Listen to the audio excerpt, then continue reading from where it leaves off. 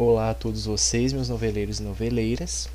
Hoje nós vamos começar uma sessão nova no canal, uma sessão voltada para falar sobre os produtores mexicanos, que são quase como os autores das novelas brasileiras em destaque por lá.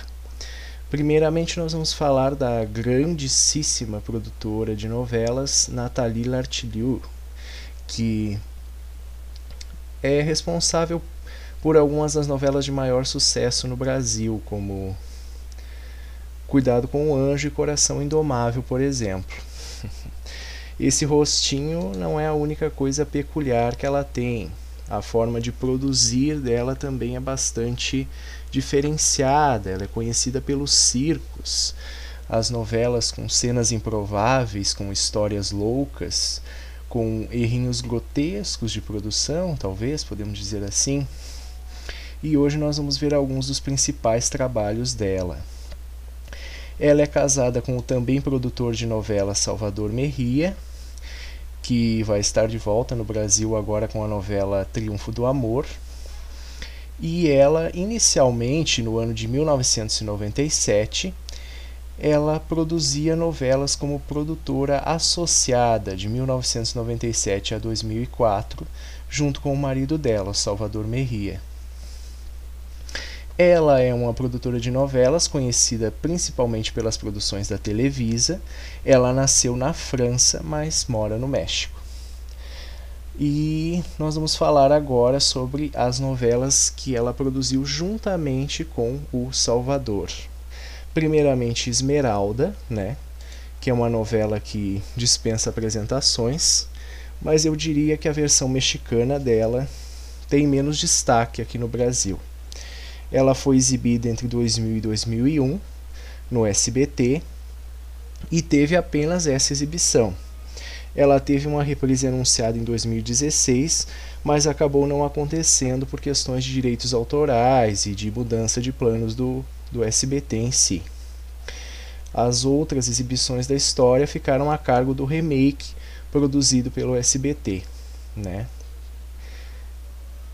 E depois nós temos outra novela que dispensa apresentações também, que é A Usurpadora, exibida no México em 1998 e no Brasil em 1999 contando com seis outras reprises, a última em 2017.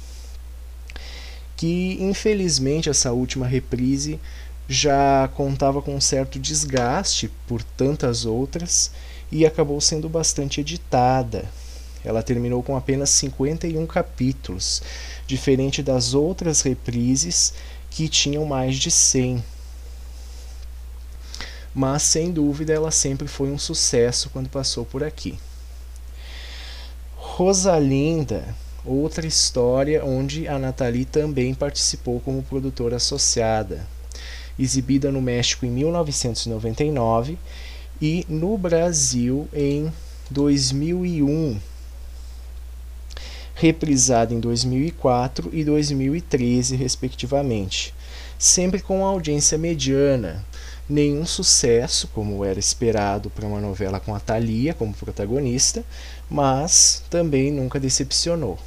Sempre teve a média de capítulos original, nunca sofreu grandes cortes. Depois nós temos outra novela onde ela também foi produtora associada. Todas as novelas em que ela foi produtora associada foram exibidas no Brasil. Em 2000 e 2001, entre 2000 e 2001 no México, nós tivemos Abraça-me Muito Forte. Abraça-me Muito Forte foi exibida no Brasil entre 2001 e 2002, logo após ela ser encerrada lá no México. E ela foi um sucesso nessa primeira exibição, com 12 pontos de audiência. Reprisada em 2014, esse sucesso não se repetiu ela oscilou entre 3 e 4 pontos. Teve algumas polêmicas referentes à sua classificação indicativa, que era livre, e as cenas exibidas na reprise acabaram chocando o Ministério da Justiça. Eu, particularmente, lembro que nessa época eu já assistia as novelas da tarde do SBT e fiquei um pouco chocado Na época eu tinha 13 anos e vi o padre saindo para fora do carro, pegando fogo e em seguida conversando com o personagem do Fernando Colunga em chamas, totalmente carbonizado. Aquilo me chocou um pouco e chocou também o Ministério, que acabou reclassificando a novela para maiores de 12 anos.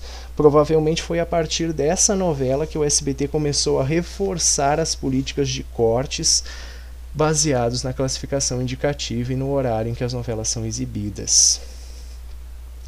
Depois nós temos outra novela entre o Amor e o Ódio, que nós não conhecemos com esse nome, né, exibida no México em 2002. Ela foi exibida no Brasil com o nome No Limite da Paixão.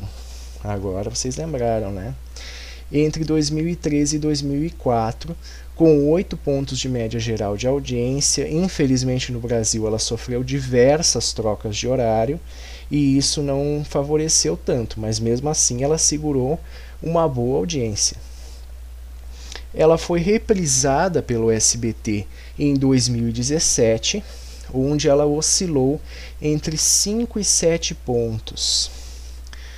É uma oscilação bastante grande. Esses sete pontos foram nos melhores dias, mas mesmo assim ela não sofreu grandes cortes e foi exibida praticamente na íntegra.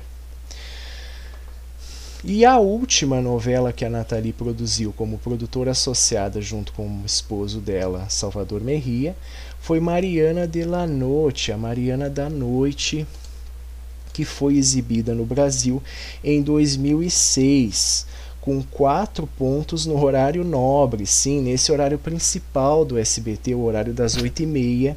A novela foi um grande fracasso e sofreu cortes expressivos. Inclusive, algumas partes da reta final da novela foram exibidas em formato de clipes, com uma música de fundo e as cenas apenas passando como flashes. Uh, e ela foi a última novela mexicana exibida na faixa principal do SBT.